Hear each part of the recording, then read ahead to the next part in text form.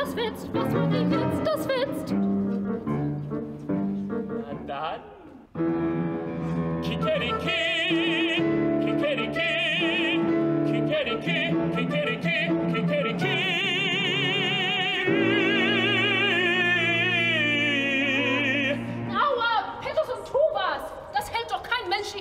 Aus. Du wirst dich schon daran gewöhnen. Ohne dich, hey du nun was tun, bloß nicht ruhen, denn hier kommt auf weichen Schuhen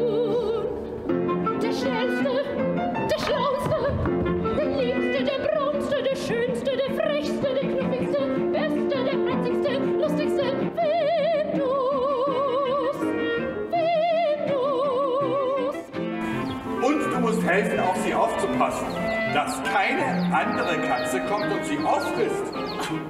Das mache ich. Und wie ich aufpassen will.